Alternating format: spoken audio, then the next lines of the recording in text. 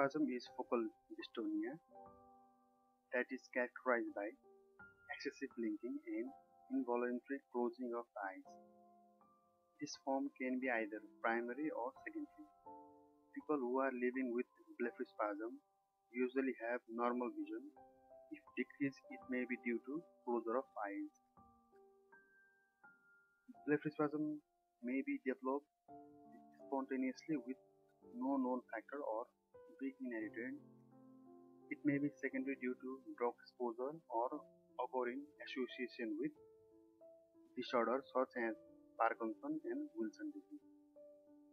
Diagnosis and of blepharospasm depends on information from the affected individual in the physical and neurological examination. Clinical feature may be overblinking, eye irritation, fatigue, emotional tension, Spasm disappear in sleep and seen during day. In some cases, eyelids remain forcefully closed for several hours. Also affect mouth, jaw. One of the most effective treatments for blepharospasm is to give regular botulinum toxin injection to the affected muscle.